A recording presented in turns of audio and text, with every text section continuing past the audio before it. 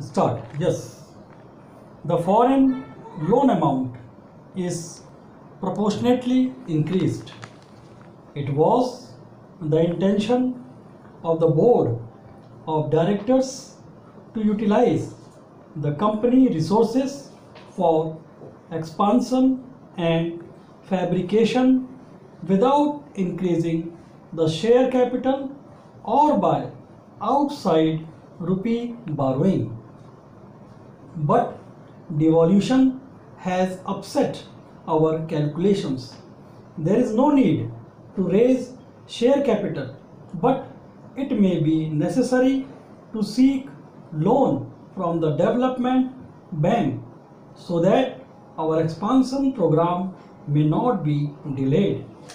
We believe the government of India would consider granting loans to companies like us who have large liabilities for repayment of foreign loans on deferred payment basis.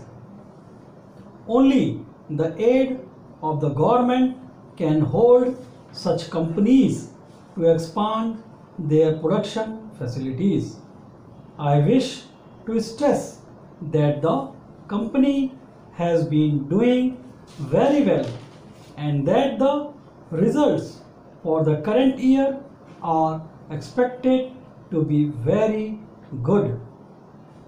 I hope that the shareholders will have reasons to feel very happy over the prospects of good results of working this year.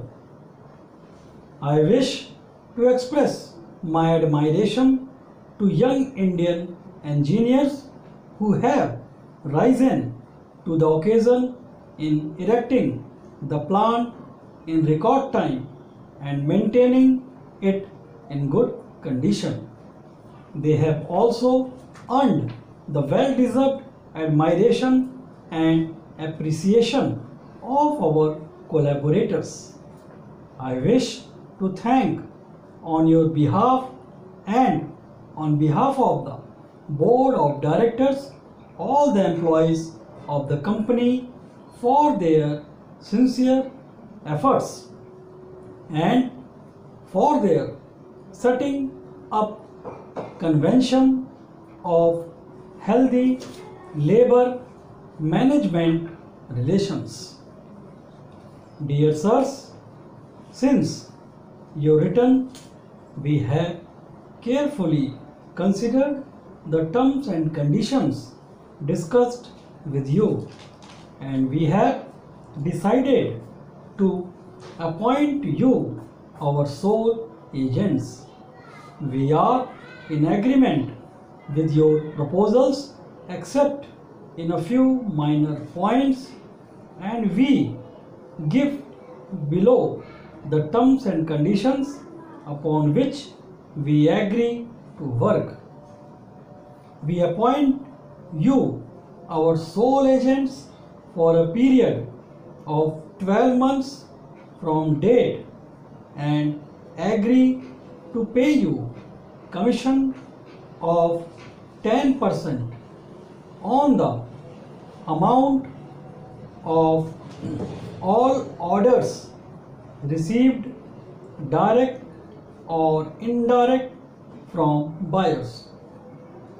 You will render account of all sales made for us up to and including the 20th of each month and remit us the amount of such sales, discounts and commission on the first of the second month after.